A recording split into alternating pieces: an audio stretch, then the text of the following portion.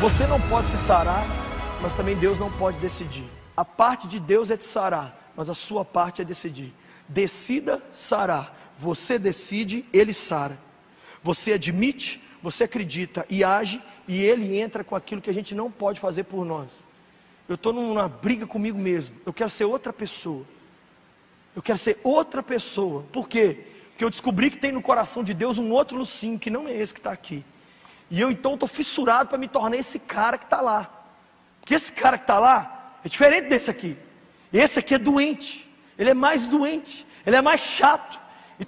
Me ajuda, Deus. Que dia que eu vou melhorar? Eu estava ali em estado de choque, falando, Deus, hoje é dia do pastor. Não bastava o Senhor me salvar, não. O Senhor pega e me faz pastor ainda.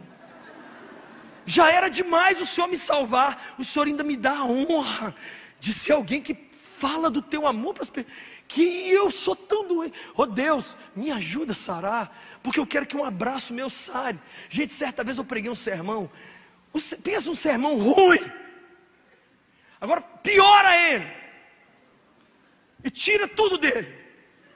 Foi esse sermão. Quando eu vi que eu tinha pregado nada, eu falei assim, galera, ó, preguei nada. Eu preguei nada. Então o culto está acabando agora, não vou dar beijo apostólico, beijo de nada. Nós vamos fazer o seguinte, eu vou ficar aqui igual um espantalho. No final, quem quiser uma cura de Deus, vem aqui que eu vou te dar um abraço. Não me pede oração. Os jovens que participaram daquele culto até hoje me ligam, me param, me mandam e-mail e assim: nunca você foi mais usado por Deus do que naquele dia do abraço. Alguma coisa em você tem que sarar alguém. Se as suas palavras não sararem, sararem seu sorriso tem que sarar. Se o seu sorriso não sarar, suas canções têm que sarar. Suas canções não sararem, sararem seu trabalho tem que sarar.